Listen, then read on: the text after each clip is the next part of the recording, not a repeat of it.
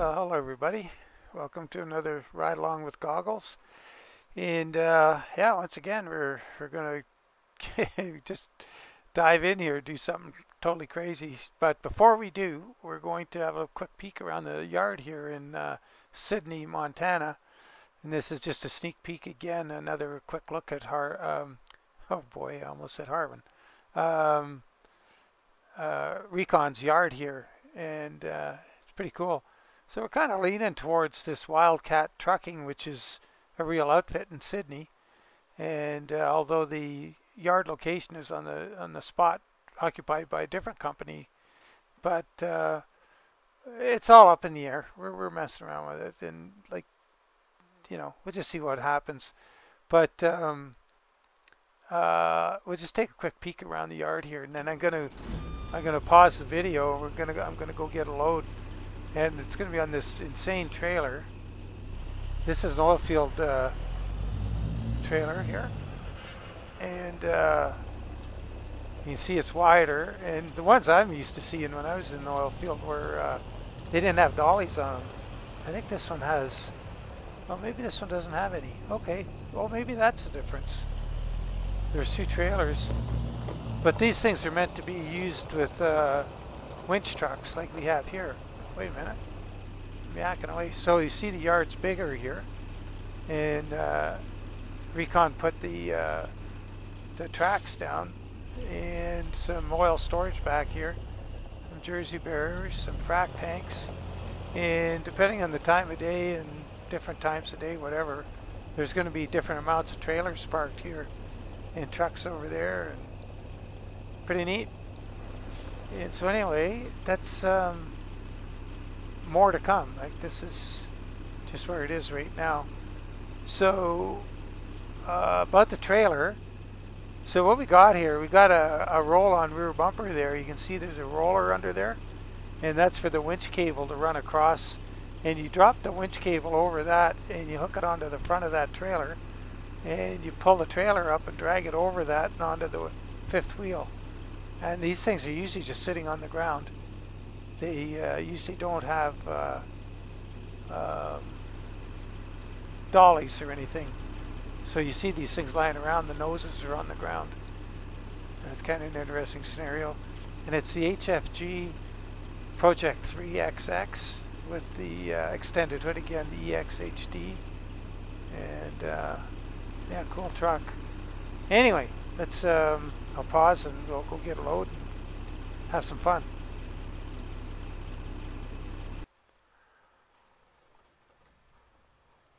Well, that didn't go as planned. I went and picked up that uh, great big load, the uh, 334,000 pound uh, transformer, and the truck wouldn't steer. Like it just kept going, it just goes straight. And uh, so it's obviously not enough weight on this chassis to deal with that. And um, if it's, yeah, it was really a bummer. It's too bad. I was looking forward to that. So anyway, I uh, just stopped recording altogether. I went and I downsized the motor a little bit and uh, put a bit more of a highway ratio in the tranny.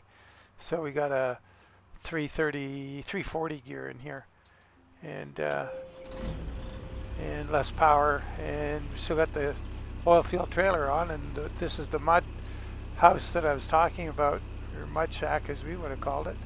But uh, anyway, we'll talk about it as we go. Let's get rolling here. See where we're going.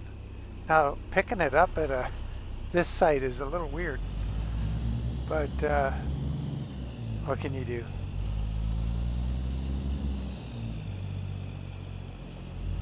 Get our beacons going here. Is that beacons on the back? No. Um,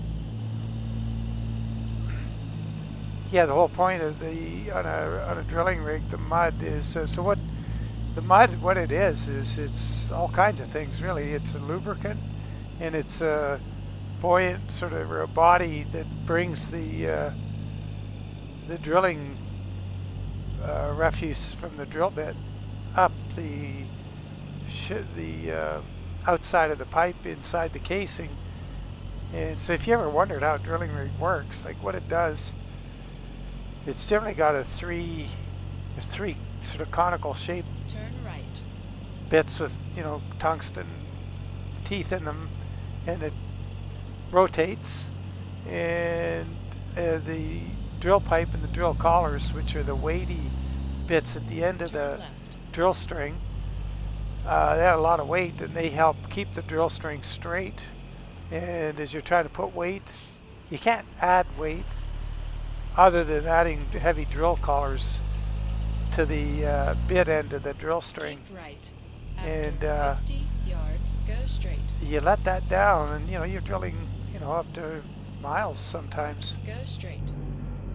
And uh, what happens is you're drilling through rock once you get, you know, past the dirt layer at the top. And all of that rock, so the, needs you got to be able to get it out of the hole. And you got a miles long hole there.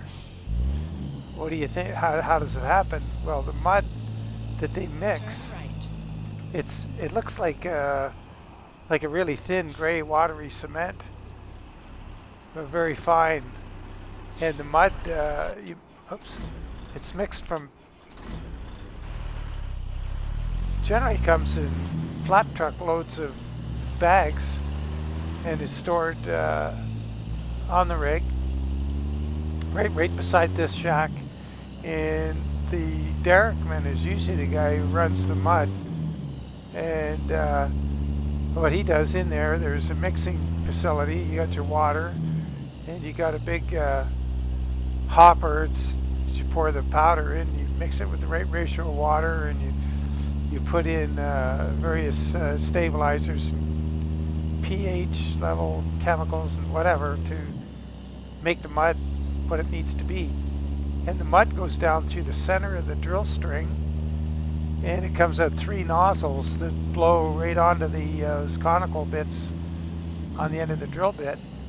As it's rotating and they're turning and they're chewing up the rock, the high pressure jets of mud are uh, lubricating that, cooling it, and at the same time it's under so much pressure, it brings all that stone and chips up the outside of the pipe through a steel casing that has been put in place uh, at the dirt level. And once you're into the rock, the rock contains the, the mud and it brings it all up to the surface. Keep left. After 50 yards, turn left. And it go, goes out the uh, shale shaker and uh, the shale shaker takes the shale out. Deposits it into the sump or wherever you're putting it nowadays. And the mud is recirculated back into the mud tanks and uh, cleaned and reused. And so the what you do in this shack is you're making up the for the lost mud.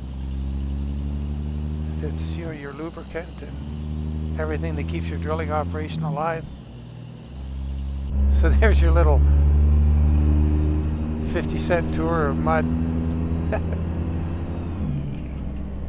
anyway, uh, yeah, so and we're in the drilling part of the world uh, over there in uh, where uh, Recon's setting up that shop. So uh, we had to go to oh yeah I had to go to Idaho Falls to get this trip, and we're heading up to. Uh, oh wait a minute, this says my destination is Twin Falls. Oh no, did I grab the wrong load? Better have a look at the map.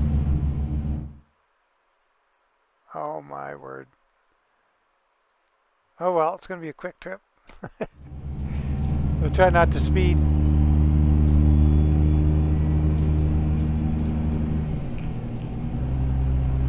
Yeah, so anyway, um, yeah, it's a pretty cool trailer.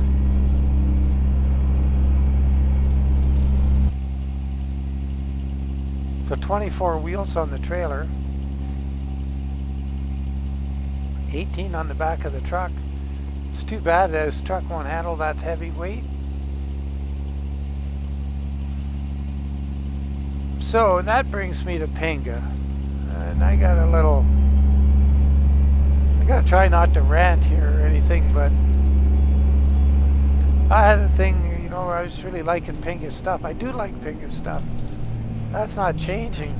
Right. After 50 yards, exit right. But I'm a little disappointed about his. Uh, I went onto his website the other day, and I'd only, you know, the last time I purchased something from him was in August. And in August, it was PayPal, just as it always is. And you know, I sell things every now and then with my little business out in my garage, making Cadillac parts. And uh, I keep my PayPal balance, so I just have money there, and I just pay things with my PayPal balance and I went to have a look, and he doesn't have PayPal anymore. And you got a thing called Wise going on. If you want to buy something, you got to sign up for this Wise banking system or payment system. I'll tell you, I was a little bit uh, miffed by that. So many people are going to want to run out and sign up for yet another PayPal equivalent. Yeah, I was kind of disappointed. So I don't know if any of you guys use Wise, uh, W-I-S-E, and uh, if so, what do you think? And uh, is this uh, a mistake by Pinga, or is people still going to buy stuff from them? Go through all of that rigmarole and sign up for another payment system. I don't know. Really disappointing. To me, it's disappointing that, you know, I'm kind of, well, maybe I'm a little old fashioned. I'm happy when the status quo works. And why do you got to change it? You know, I don't know. I don't know if it's a good thing. Maybe you guys know more about this wise business than I do. That being said, I put a hundred bucks in it, so I put a hundred bucks in Wise so that if uh, it comes down to it, I have to use it. I got it. So I don't know.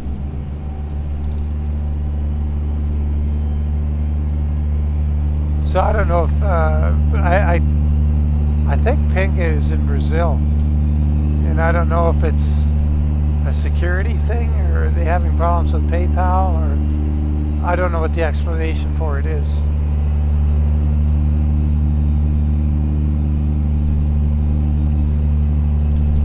Man, I haven't been on this highway in forever. It's a long time since I've driven this one.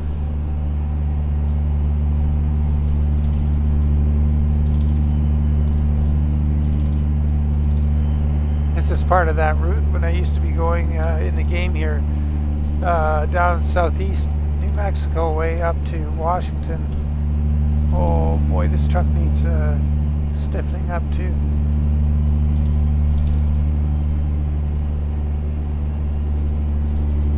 Anyway, um, yeah, I used to be on this road all the time. Just because that's where the you know the money loads were, the long haul, and trying to buy another garage, get more drivers.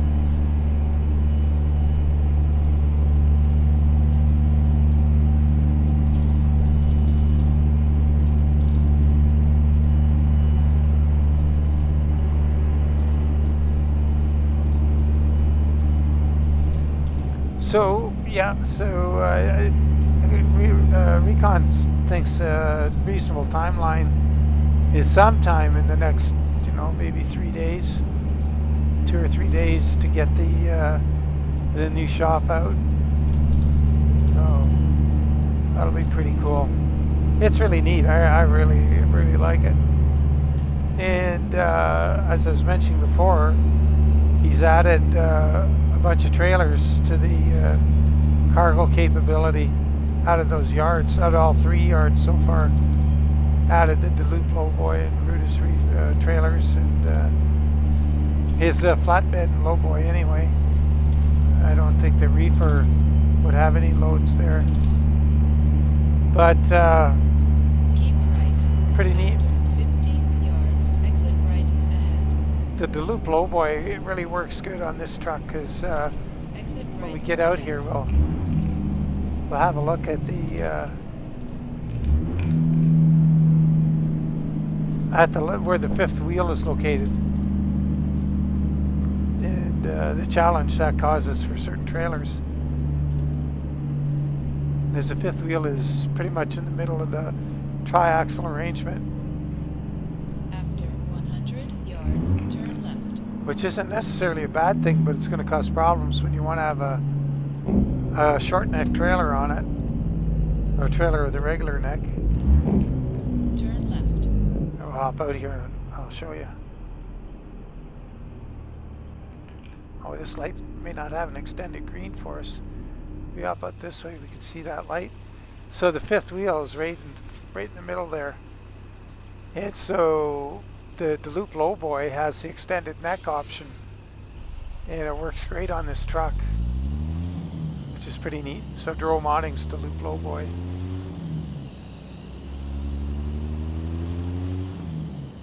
Yeah, we should be driving up from here a little bit looking at the truck. But uh, the reason I was mentioning Pinga's truck is it's such a, you know, I don't know if you saw those images or the screenshot I put up on Steam of Pinga's truck in an Alberta heavy haul skin day cab triaxle with an amazing winch on it. It is cool. But this trailer is really cool. The uh, cargo leaves something to be desired, I think, in my view, but like, I mean, you can haul a load of plywood on here? On an oil field trailer? That's weird. And another load is oil field related, it's a frac tank. So, frac, frac tank has wheels. Uh, a lot less money spent to just run that trailer on its own wheels. Uh, parasailer there. Oh, let's do a screenshot. That was a good way to remember. Uh, but anyway, yeah, why would you put a frac, uh, frac tank which weighs 18,000 pounds or less on this trailer with 24 wheels? Yeah, it doesn't add up. Go straight. So, but apparently uh, Recon was reading the notes on this trailer, and apparently the uh, the mod author is working on an update for the cargos. I hope, oops, I hope it's a bit of a realism update.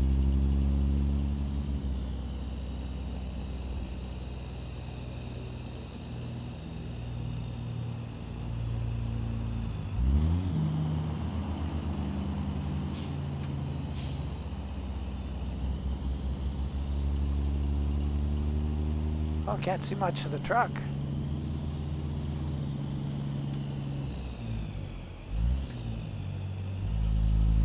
Keep left. After 50 yards, turn left. Oh man, we're here already. Turn left. It's over.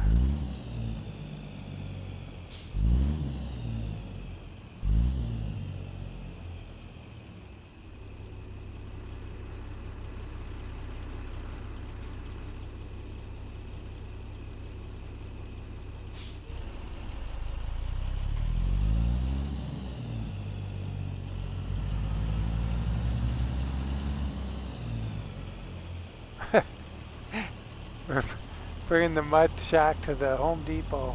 Okay. I guess they got some big drilling project going on here.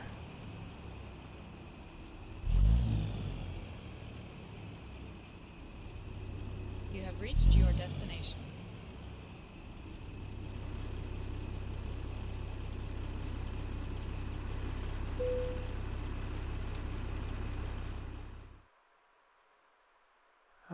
Okay, so well, that could be a bit of a challenge with this trailer. It's not overly long, but we should be able to do a U-turn in the back.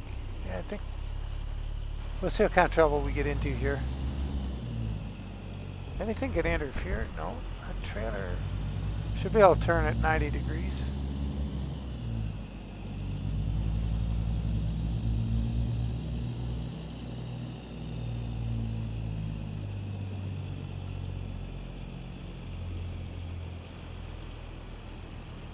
There's an SCS Lowboy. Oh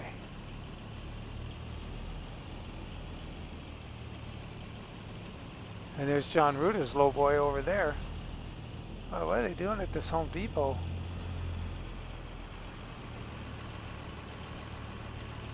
Pretty sure that's Ruda's Lowboy. Let me see at the back of it. I think so. okay, we gotta start thinking about getting this thing turned around in here.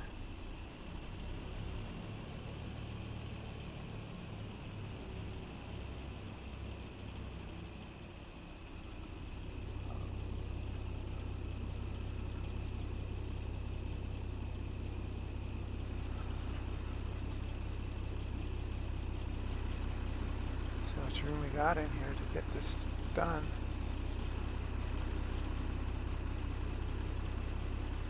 Oh yeah, I think we're gonna be fine. Easy peasy.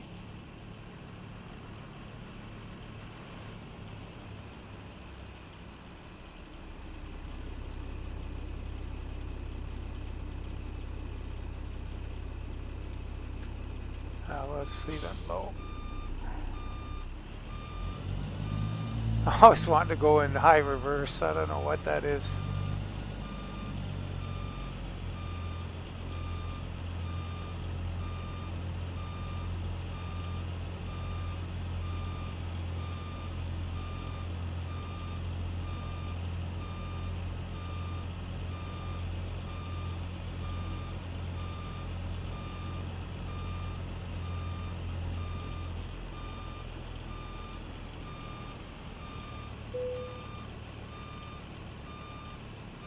A visitor.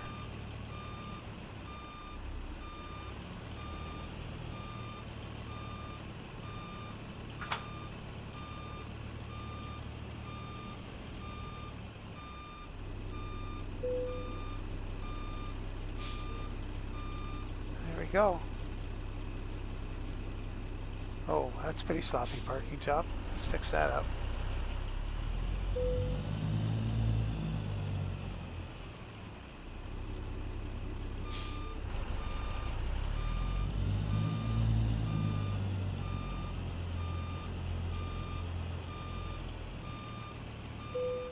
That's better.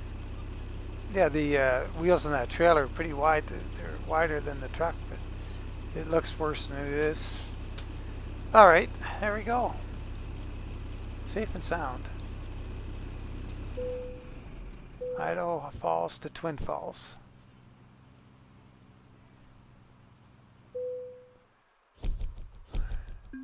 Ooh, look at the money.